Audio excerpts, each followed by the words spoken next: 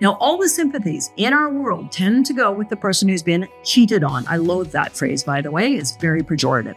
And that makes a lot of sense. If my trust has been betrayed by you, I am shattered, I am devastated. In fact, the symptoms of post affair recovery for the person who's been betrayed or cheated on do resemble post traumatic stress disorder. There can be re experiencing, flashbacks, obsessing with images of you with that other person, um, all sorts of hypervigilant paranoia, and it all makes sense. I'm working with a couple right now who just finished the program. We're doing some continuing work on those things right now for the betrayed person. But there are very few sympathies in the world for the person that betrayed. Well, you're in the right place.